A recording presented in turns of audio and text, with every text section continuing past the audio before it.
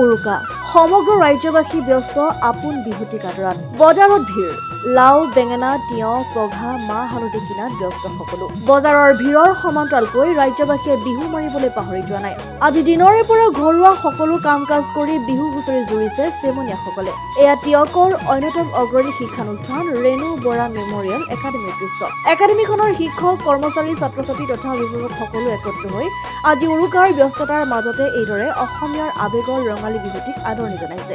উপস্থিত সকলোৱে জাতীয় সাজপাৰ পৰিধান কৰি ঢোলৰ চেৱে চেৱে নাচনীয়ে কঁকাল ভাঙিছে।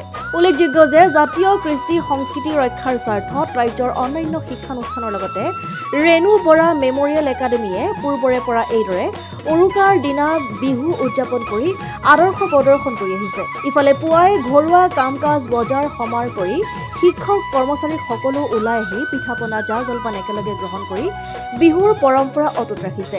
ছাত্ৰ ছাত্ৰীসকলৰ মাজত ভাতৃত্ববোধ ঐক্য তথা অসমীয়াৰ পৰম্পৰা জীয়াই ৰাখিবলৈ এয়া এক সামান্য প্ৰয়াস বুলি অভিহিত কৰি আগলৈও এইদৰে জাতীয় কৃষ্টিৰ চৰ্চা অব্যাহত ৰখাৰ সংকল্প গ্ৰহণ কৰিছে একাডেমী কৰ্তৃপক্ষই।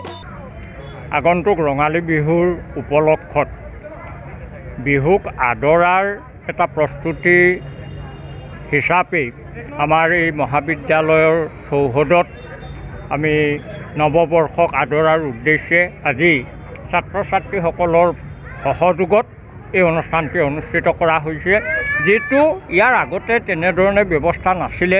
আজি কিছুদিনৰ পৰা শিক্ষানুষ্ঠানসমূহত বিহুক আদৰাৰ প্ৰস্তুতি চলিছে। এই বছৰ আমি দেখা গৈছে যে এই দুহেজাৰ তেইছ বৰ্ষত প্ৰায়বিলাক শিক্ষানুষ্ঠানতে ৰঙালীক আদৰাৰ প্ৰস্তুতি চলিছে হৈছে।